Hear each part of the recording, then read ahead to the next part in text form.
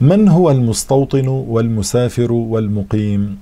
المستوطن هو الذي يقيم في مكان ولا يفارقه إلا لحاجة والمقيم هو من نوى الإقامة في بلد غير وطنه أربعة أيام أو أكثر غير يومي الدخول والخروج.